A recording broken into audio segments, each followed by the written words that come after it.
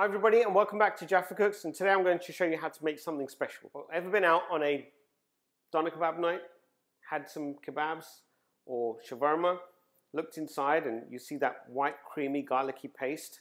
Tastes nice doesn't it?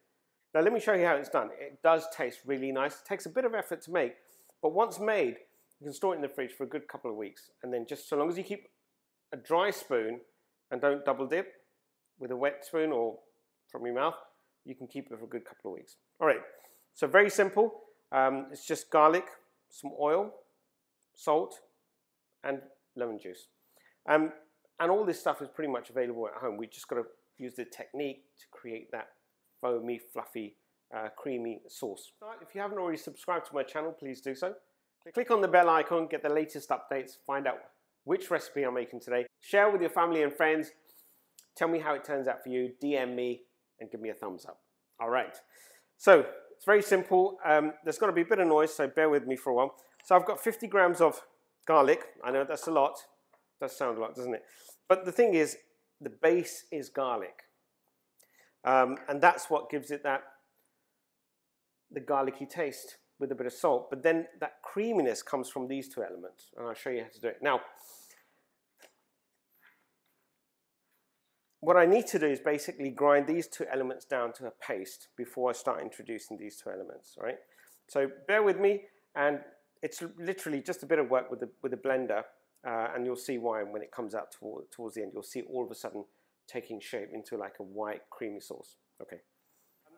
If it does start sticking or getting stuck inside, do take it out because after a while uh, it'll just stop um, grinding or blending it down. So as mentioned, it does require a little bit of work, but once it's ready, it can be used with any kebab. Um, check out my Doner kebab recipe, my Doner, kebab recipe. This goes with it perfectly. A couple of more blends, and um, we should be ready to put the lemon juice and oil in. So you can see it's really pasted out.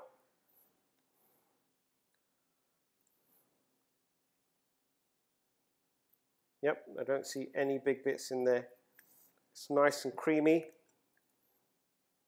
Now the next thing we're going to do is introduce to this whole recipe is the lemon and the oil. Now this has to be put in a certain way and a certain measurement that we don't put it all in one go, but we introduce it slowly. So very slowly I'm going to introduce um, the oil and the lemon juice very, very slowly. It's like actually, in fact, it's like making mayo. It's just about emulsification, all right?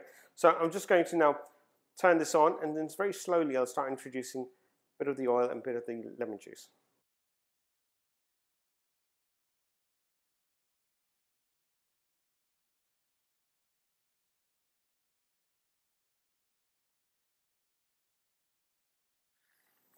So as you can see, it's taking shape. The formation now, because it's started to really emulsify, we need to use an up and down motion just to ensure that it starts creating a little bit of the air pockets inside as well. So I'm going to carry on and I've got to really blend all these two together. So it's going to take me a little time. Keep watching and I'll show you what happens at the end.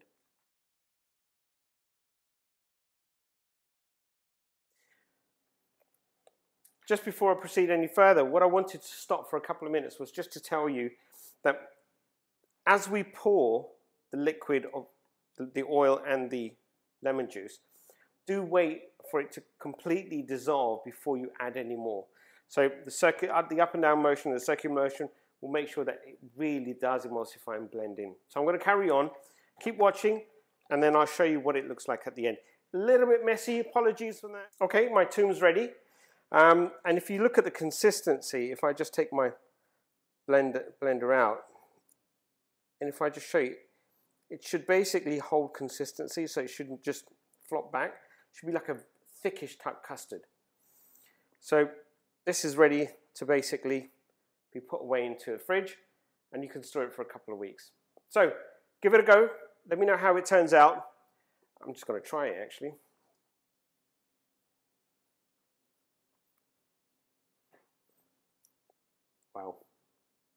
The only thing missing is an Adana kebab or some doner kebab. Keep following. I'll show you how to make those. Have a good day. Take care. Bye.